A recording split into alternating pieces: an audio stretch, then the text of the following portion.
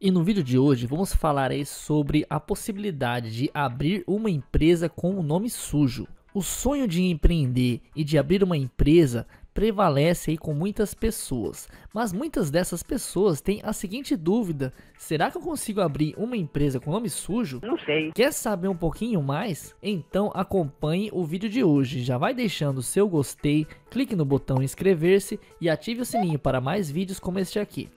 Bom, pessoal, sem mais enrolação, vamos direto à resposta da questão aí que não quer calar. É possível ou não é possível abrir empresa com nome sujo? E a resposta é sim, é possível abrir uma empresa, mesmo estando com o nome negativado.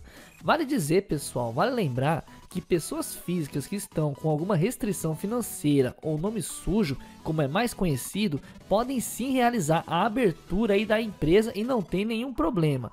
Tudo isso acontece devido à Lei Complementar número 123 de 14 de dezembro de 2006, que não tem nenhuma restrição para a abertura de empresas para pessoas que possuem restrições cadastrais em seu nome. Né?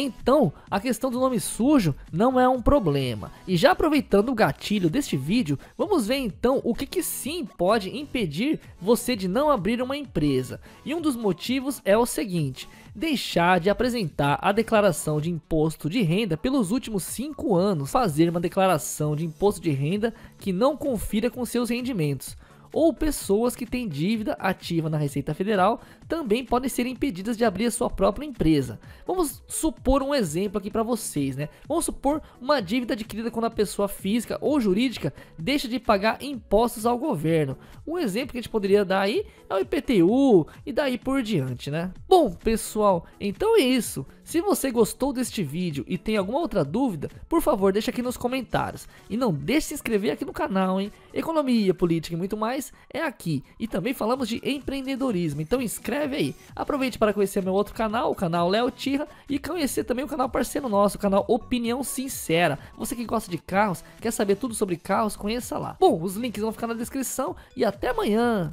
Você curte carros? Quer saber mais detalhes e curiosidades sobre vários modelos? Quer uma opinião imparcial e sincera? Então vem com a gente.